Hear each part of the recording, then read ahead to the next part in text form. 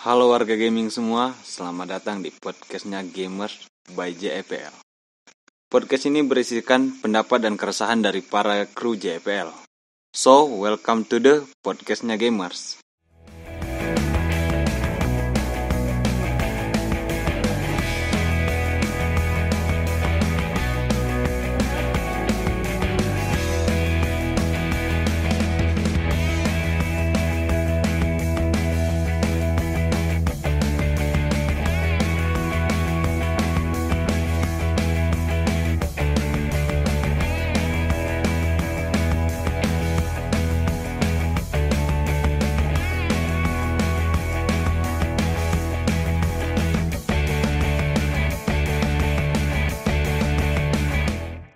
Saya Holif Rohman, pekerjaan saya sebagai mahasiswa ya, dan saya juga senang senang bermain games. Tentunya jika kalian ingin mabar-mabar, silahkan ADD nih. Nickname-nya itu JEPL Sanak Lawang. Saya adalah salah satu founder dari JEPL. Dan kali ini saya hanya berdua bersama Andresta. Ya, halo. Mas Olip, Bung Olip. Kali ini gue Andresta dan menjadi salah satu pengisi podcast ya di podcastnya Gamers by JPL di Spotify. Seharusnya kita berempat ya Bung Olip ya. Ya, Tapi karena dua teman kita, Febriansah dan Sobari, eh, kalau kita orang biasanya manggil Atin. Lagi ada sibuk tugas kuliah, kebetulan semester tua jadi belum bisa menemani para warga gaming. Eh, gue memperkenalkan diri dulu, mungkin Bung Olip ya, atau gimana? Apa kita ke topik? perkenalan dulu deh kayaknya ya. Kenalan dulu, halo, gue Andresta. Ya, umur sudah berumur. Dan juga pekerjaan gue sama kayak Olip, eh, mahasiswa di salah satu kampus di Indonesia. Dan sama seperti Bung Olip tadi, eh, gue salah satu founder JPL. Nickname gue JPL San Fierro. Ya, yang sering ketemu random match. Sorry kalau gue sering toxic ya. Terbawa suasana. Oke, apalagi Bung Oli yang perlu ditanya karena Anda MC di sini. Ya apa Bung Oli yang perlu ditanya? Kan Bung Anders ini ya salah satu founder di JPL nih. Apa alasannya membentuk JPL? Ya. Sebelumnya gua memperkenalkan JPL juga nih kayaknya.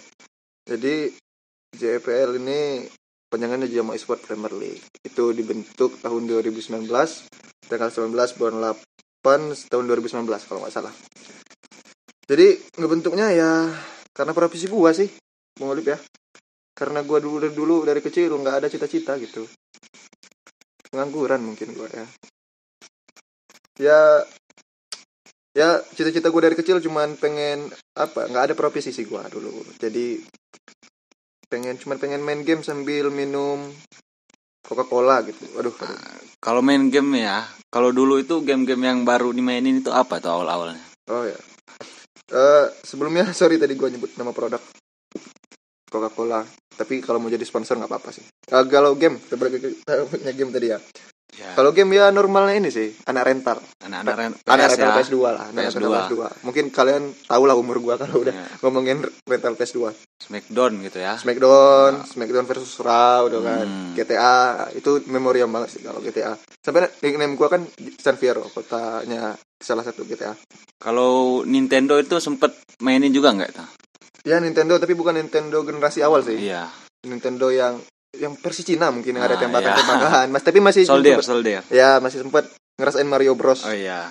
dan teman-temannya. Jadi ya untuk JPL ya balik lagi karena gua ngerasa passion gua di situ, terus e-sport juga gua udah ngerasa berkembang dan ya harapannya semoga e-sport terus berkembang dan cita-cita gua kesampaian bisa main Ya. PS saat tua nanti sambil minum Coca-Cola.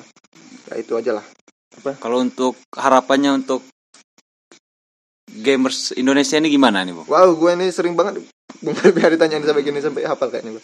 Harapan gue jangan toksik aja lah. Gue nggak mau Ya. jawaban mainstream jangan toksik, saling support, tapi eh, tetap dalam koridor sportivitas gitu kalau ngedukung tim ya. Nggak apa-apa saling eh, saling meng, eh, meng- apa ya? Bukan mengejek tapi mengkritik satu sama Ya. lain ya, mengkritik. Tapi tetap dalam koridor sportivitas. Ya. Karena gimana pun juga kalau kita belajar dari bola ya, Madrid Barca itu serunya karena supporter gitu kan Ah, ya. iya. MU Liverpool serunya Ah. karena supporter. Kita sorry nih ya misalnya kalau ada fansnya. Misalnya Aura lawan Geek Fans. Sorry benar ini. Hmm, Nggak sebegitu panas gitu. Iya. Kita bisa lihat dari jumlah view saat Iya. mereka bertanding. Ya karena penontonnya juga segitu gitu. penggemarnya belum cukup ba- banyak gitu Iya. ya tidak seperti IPOS dan RRQ Iya. Jadi Dan gua agak ini sih, agak Hmm. apa ya, agak agak kurang setuju Iya. kalau ah jangan saling mengejek, saling mengejek. Ya nggak apa-apa, toh itu yang bikin seru. ya Nggak kebayang sih kalau misalnya EVOS RRQ gitu, nggak nggak rame. Ya mungkin nggak jadi seru gitu Iya. pertemuan mereka keduanya. ya mungkin di sini peran para pecinta itu sangat besar ya Iya, para fans, ya, para fans ini sangat besar dan untuk harapan PUBG Mobile nih kita masuk topik dulu ya Bung, ya. Oh iya, Ya. PUBG Mobile. ya. Untuk harapan di PUBG Mobile ini kata para warga gaming ini sangat membosankan karena BTR BTR saja yang juara. Jadi pendapat dari Bung Andres ini gimana? Ya, sabar gua ngadepin rokok dulu ya Bang Alif ya. Soalnya tapi gua nggak mau nyebutin nih Bang Alif, belum ada Hmm, sponsor. iya. Kalau ada sponsor ke mana nih Bang Alif? Boleh ke DM dulu kayaknya ya. Apa langsung email aja. Email ada di link ya. ya, ada- email. Ada di link. Sabar Bang Alif ya. Apa tadi? Harapan. Harapan untuk game PUBG Mobile. Masukan lah gimana. Mungkin ke semuanya dulu lah. Iya. Kalau harapan PUBG Mobile ya terus berkembang. Semoga tim-tim lain ya, jangan terlalu nganggep tim-tim yang udah besar. Contoh lah Bigetron lah, supaya nggak tahu Hmm. Bigetron. Ya, jangan terlalu menganggap mereka besar. Mereka juga pasti manusia ada selipnya juga. Iya. Pak. Sehebat hebatnya Ronaldo Messi, toh sekarang saat podcast podcast ini direkam ya Ronaldo Messi udah mau habis juga ya eranya. Ya. Jadi ya teruslah berlatih. Pasti suatu saat kalau kalian bisa ya. Kalau mereka bisa kenapa kalian nggak bisa? Pasti bisa lah kalau latihan terus. Tapi mungkin Bung Olip dulu ya perkenalan. Soalnya ini episode perkenalan. Kenapa gabung di JPL? Kenapa menjadi founder deh? Gue dulu yang nanya kayaknya. Boleh, boleh.